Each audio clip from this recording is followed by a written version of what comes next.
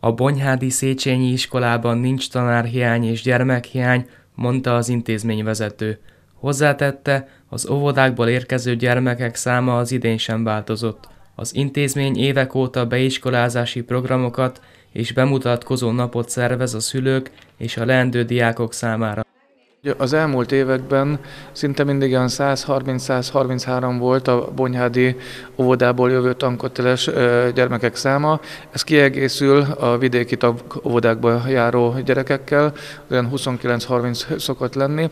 Az elmúlt két-három évben ez volt a szám, volt egy mélypont, ha jól emlékszem, akkor 2020-ban talán, amikor összesen 109 tanköteles korú gyerek volt. Az iskolát váltó diákok száma nem jelentős. Az intézmény célja minden gyermek megtartása és a fiatalok lehető legjobb szintű fejlesztése. A gyermekek mellett a pedagógusok létszámában sem volt tapasztalható hiánya az idén, mondta Steiner Krisztián József. Szerencsés helyzetben vagyunk, hiszen egyrészt a szakos ellátottságunk az gyakorlatilag százszázalékos, minden tantárgyat olyan pedagógus tanít, akinek megfelelő végzettsége, képzettsége, sőt tapasztalata van tőlünk nem volt távozó pedagógus, illetve aki elhagyta az iskolát, az alapvetően magánéleti okokból tette ezt, költözés, úgyhogy én azt gondolom, hogy nálunk ez a tanév zökkenőmentesen indult el.